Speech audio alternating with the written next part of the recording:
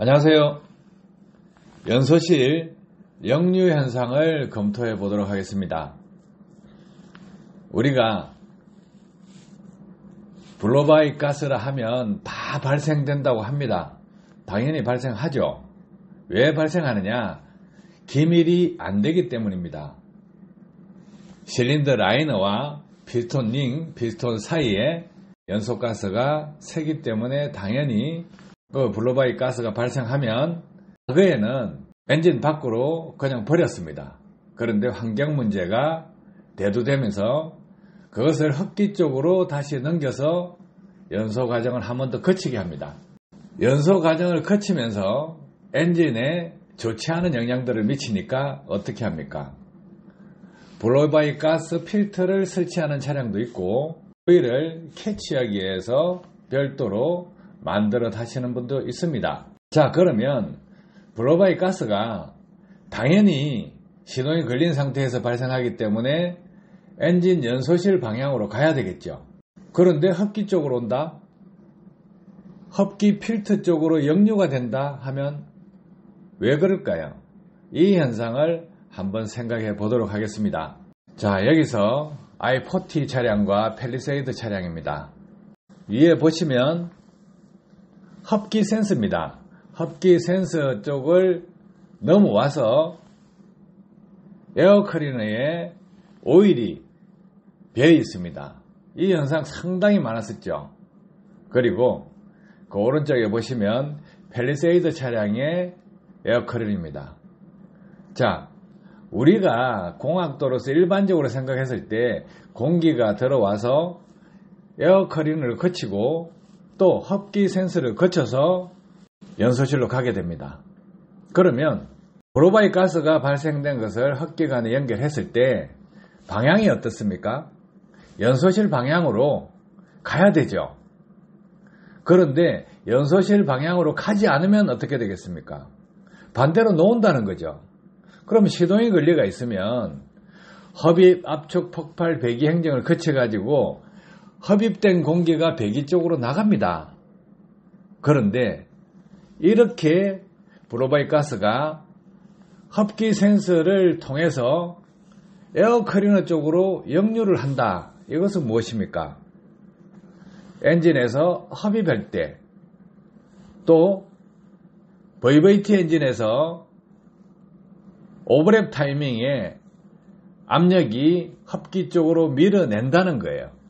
그 밀어내는 압력이 세기 때문에 오일은 유체입니다. 유체이기 때문에 그 충격파로 인해서 흡기 에어 클리너 이쪽으로 넘어온다는 거예요. 자, 그러면 역류가 얼마나 센지 아시겠죠? 엔진 상태가 좋으면 별로 안 넘어오겠죠. 근데 엔진 상태가 안 좋으면 많이 넘어오겠죠. 또 VVT, CVVT 이런 엔진들 오버랩 타이밍에 역류가 세면 어떻습니까? 많이 넘어오겠죠. 그래서 우리가 매뉴얼들을 딱 뜯어놓고 시동을 걸 수 있다 하면 시동을 걸어보시면 흡기 쪽으로 역류 현상이 상당히 많이 생깁니다. 가변 밸브가 적용된 엔진이 아니다 하더라도 흡입 만행정에 튀어나오는 게 많다는 거예요. 그러면 자 펠리세이드 같은 경우에 이런 현상이 생겼다 하면 자동차 메이커에서는 어떻게 이야기를 하느냐 고속 회전 과속을 해서 그렇다 이렇게 주장할 수도 있습니다. 그런데 이 팰리세이드 차량 과속이 아닙니다. 일반적으로 출퇴근하는 그런 차량이고 과속이 아닌 상태에서 이렇게 생겼다. 엔진의 구조적인 결함이 될 수도 있어요. 또 가변 밸브 오버랩 타이밍이 작동하는 그 타이밍에 흡기 쪽으로 연소가스가 많이 나올 수도 있고 흡기 밸브에 압력이 세서 연소가스가 흡기 쪽으로 튀어나올 수도 있다는 거예요. 압축 행정에 또 공기가 흡기 쪽으로 튀어나올 수 있는 거고. 그래서 정상적인 엔진이다 하면 왼쪽에 보시면 i40 엔진을 보면 그 당시에 대부분의 차량들이 이런 현상들이 상당히 많이 생겼어요. 그래서 이런 것 때문에 우리가 오일 캐치라는 그런 제품들을 사서 장착을 하시는 분도 많았고 대형차의 경우는 blow-by 가스 필터를 설치를 해서 오일이 아예 넘어오지 않게끔 필터에서 걸러주기도 합니다. 자, 걸러주면 이 현상을 보지 못하겠죠. blow-by 가스 필터가 부착되어 있지 않다. 뭐 블로바이 가스 캐치하는 그런 장치를 부착하지 않았다 하면 흡기관으로 오일이 나왔대요. 공기만 나왔다가 들어갔으면 이런 현상들이 없었겠죠. 오일이기 때문에 이렇게 보였다는 거예요. 그러면 공기라 그러면 흡입 만행정에 역류되는 공기, 오버랩 타이밍에 역류되는 공기였다 하면 어떻겠습니까? 보이지 않았겠죠. 흔적이 남아 있지 않았겠죠. 그런데 우리가 이 차량 에어커리너를 한 번씩 열어보시면 흡기구에서 공기가 들어올 때 필터를 지나기 전에는 뭐 먼지가 검게 된다거나 이렇게 할 수 있어요. 근데 반대쪽에 새까맣게 묻어 있다 하면 연소가스가 역류된 것이 거기에 머물른 것입니다.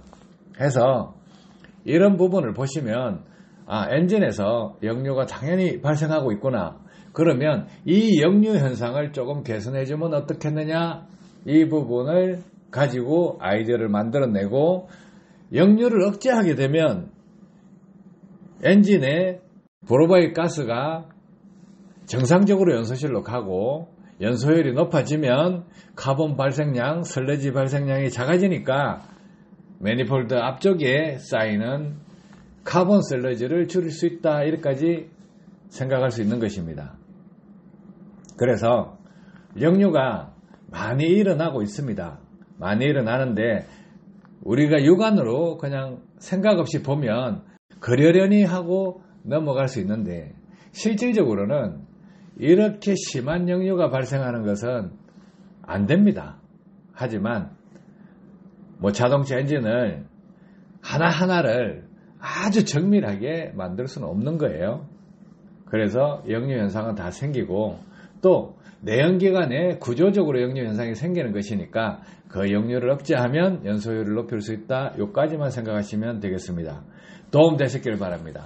감사합니다.